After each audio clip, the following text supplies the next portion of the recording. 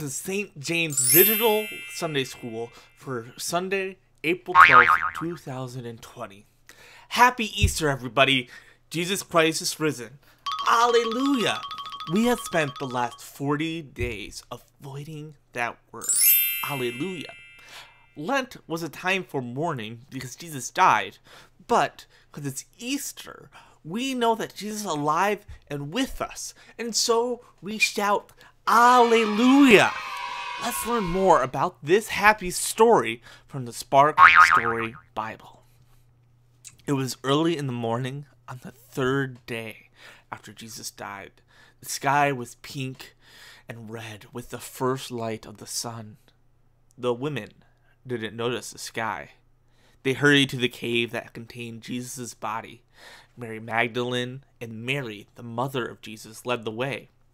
Two others, Salome and Joanna, carried the spices to rub on the body of Jesus.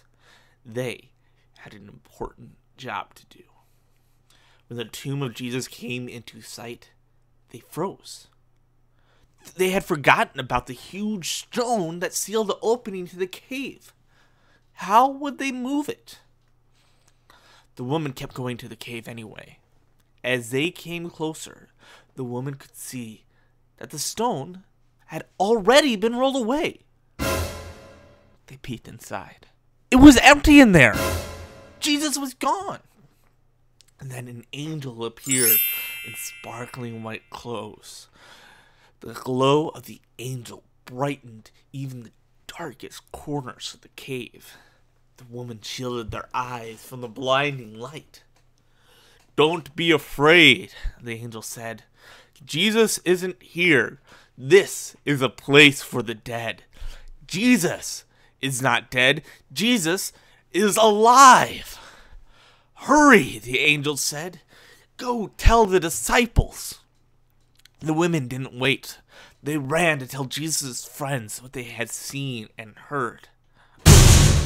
Mary bumped into a man, tripped, and fell at his feet. It was Jesus.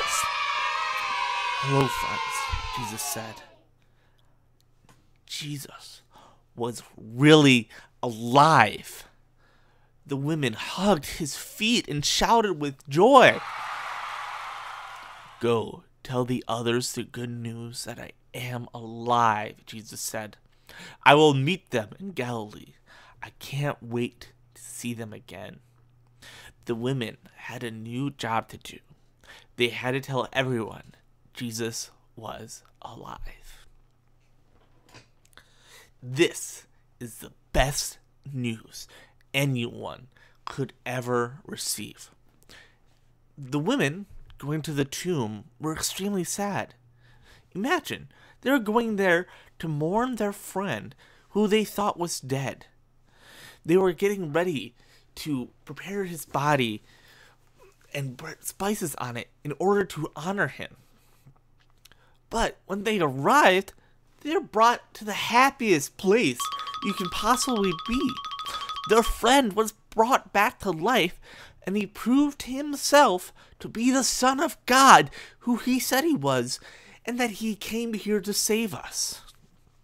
And not only was Jesus alive again, they were reaffirmed that their faith in Jesus was right. He said he was the Son of God and that he would rise again from the grave, and he was. And so that means when he said that he was here to save us from all the things we do bad and to bring us to heaven with God, that's what he was here to do, and that's what he is doing. You guys know what Alleluia means? It's an exclamation of joy, a happiness that comes from deep, deep down. That is why, at this time of year, when we say Christ is risen, a lot of times we'll yell back, Alleluia. Sometimes we'll say, Christ is risen indeed. Alleluia. Just to hammer home the point that Christ is alive and with us even today. Let's try this out now. I'm going to say Christ is risen, and I want you to shout back, Alleluia. Are you ready? Three, two, one. Christ is risen. That was great. Now, let's have a few discussion questions. Have you ever had good news that was so big that you couldn't help but share it with everyone?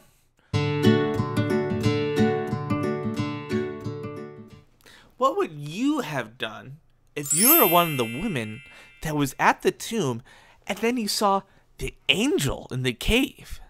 And lastly, what do you do to celebrate Easter and the fact that Jesus Christ is alive with us? We're not going to have an activity today because I'm sure your day is going to be full of celebrating Easter. Before we head out, let's pray.